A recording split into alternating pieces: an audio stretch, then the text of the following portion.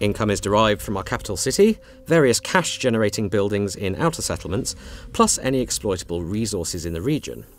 We've got some clay pits in Altdorf here, for example, so that's contributing towards our trade tariffs.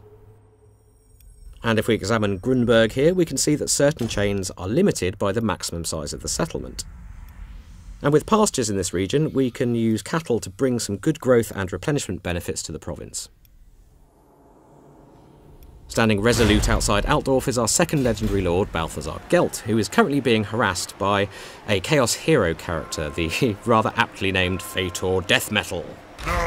No, We only recently recruited Balthazar to our campaign, so he's pretty low level still, but we can see from his skill tree that he's very much magically focused.